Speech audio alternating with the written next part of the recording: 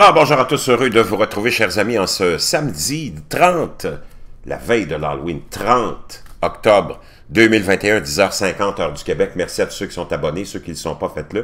Merci à tous ceux qui m'envoient des messages toujours pertinents, toujours appréciés.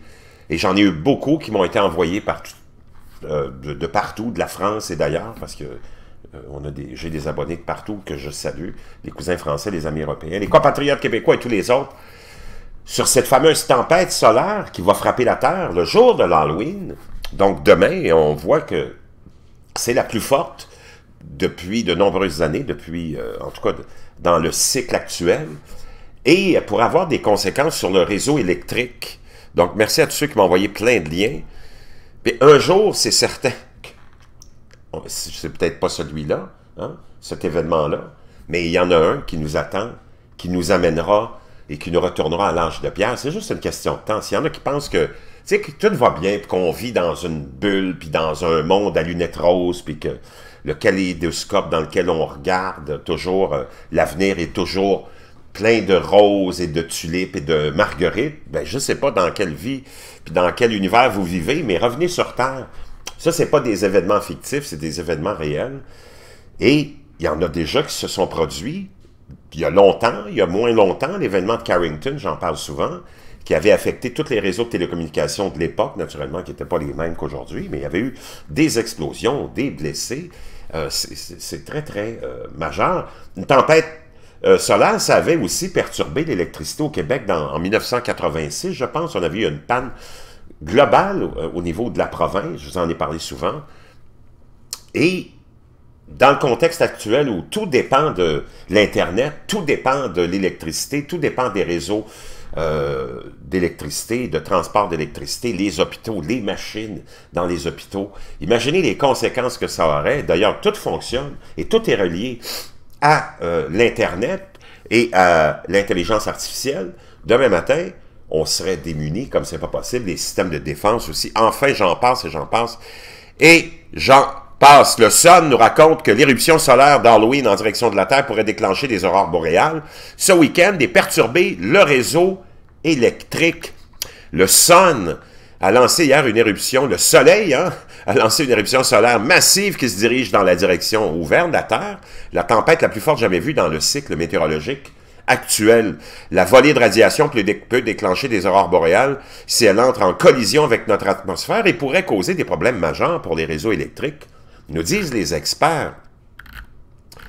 Donc, euh, une image ultraviolette de la fusée capturée par la NASA. Hein, la fusée, c'est l'éjection de masse, met en évidence le, matériau extrêmement chaud des fusées éclairantes qui est ici coloré en bleu.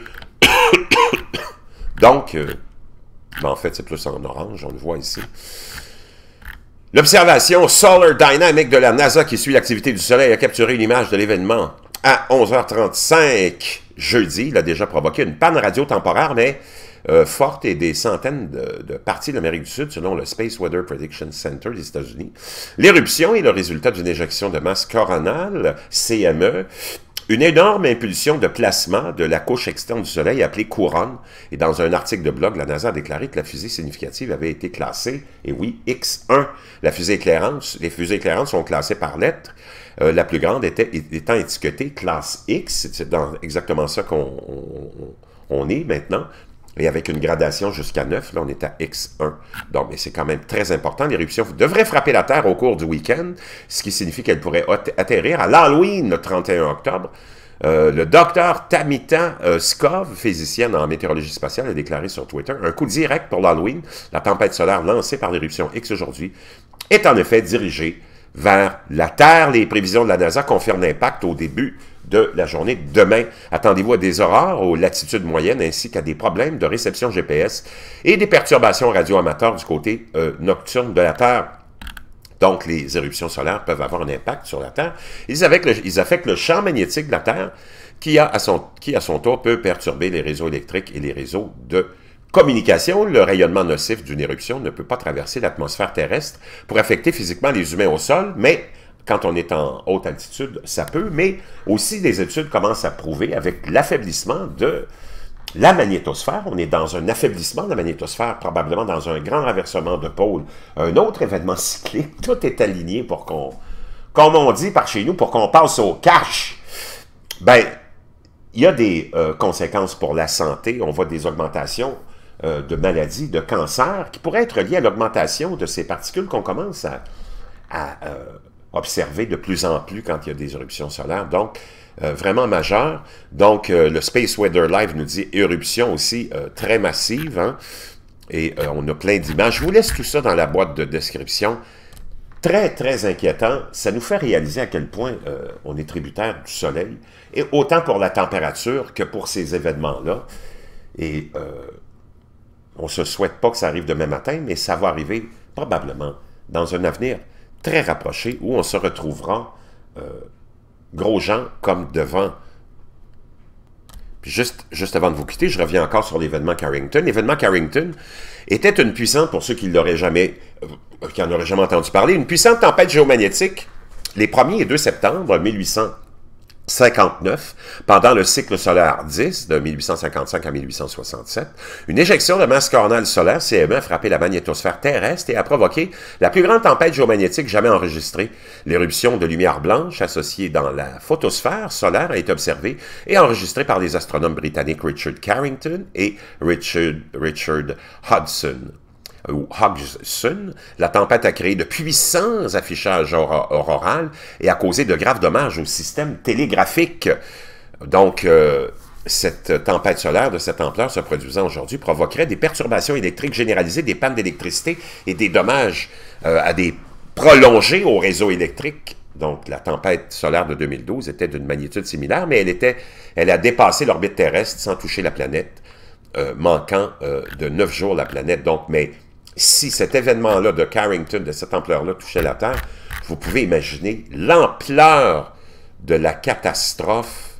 Pensez à tous ceux qui sont reliés à des machines pour survivre, ceux qui ont besoin. Tu n'aurais plus d'eau, tu plus... Tu t'en vas pour mettre de l'essence, tout est relié à l'intelligence artificielle, tout est relié à l'Internet. S'il y a une panne d'électricité, une panne d'Internet, tu ne peux pas mettre d'essence, tu peux... Il n'y a rien que tu puisses faire. Donc, je peux te dire une chose, c'est vraiment pas ça qu'on souhaite, mais ça va arriver de toute façon. Puis avant de vous quitter, on va aller voir l'événement qui était arrivé en 86 euh, au Québec, ailleurs, mais le Québec, on avait été plongé dans le noir. Je vous laisserai les liens dans la boîte de description. Éruption solaire de 1989, je m'étais trompé de date tout à l'heure. L'éruption solaire de 1989 est une importante éruption solaire qui est survenue dans le cycle solaire 22 qui a affecté la Terre. Cette année-là, elle a entraîné des variations du champ magnétique terrestre, provoquant, entre autres, l'écroulement du réseau hydroélectrique de la, province de, du Québec, nous autres ici. Cette tempête géomagnétique a, été provoquée naturellement par une éjection de masse coronale. Le 9 mars 1989, l'éruption est quatre fois plus importante que la normale. Trois heures et demie plus tard, à 2h44, le 13 mars 1989, un orage géomagnétique violent heurte la Terre et provoque des aurores polaires, dont une est aperçue à la latitude aussi méridionale que le Texas, Plusieurs réseaux électriques en Amérique du Nord ont ressenti l'effet de la tempête et signalé des incidents, allant de fluctuations mineures jusqu'à la défaillance de lignes et au bris d'équipements. Mais c'est toutefois au Québec que les conséquences de la tempête ont été les plus graves. Le choc a créé une trentaine de variations brusques du champ magnétique terrestre qui ont provoqué le déclenchement des mécanismes de protection des lignes de transport d'électricité, isolant le réseau de la baie James et entraînant une panne générale d'électricité qui a duré 9 heures. Elle a euh, quand même assez euh, euh, assez euh, majeure. Hein. L'une des rares opérations militaires dont on sait qu'elle a été affectée a été la composante australienne de la force de maintien de la paix de l'ONU déployée en Namibie. La tempête est survenue lors de l'arrivée dans le pays des premiers éléments du contingent, mais on croit que ces effets ont duré plusieurs semaines. La contribution australienne au groupe d'assistance des Nations Unies pour la période de transition de la Namibie était très dépendante des communications à haute fréquence qui ont été lourdement affectées. Donc voyez-vous, Wow! Imaginez aujourd'hui, avec la dépendance qu'on a à l'intelligence artificielle, au réseau hein, d'Internet et tout ça, catastrophique, catastrophique, et ça pourrait durer des semaines et des mois. Wow! Je vous reviens.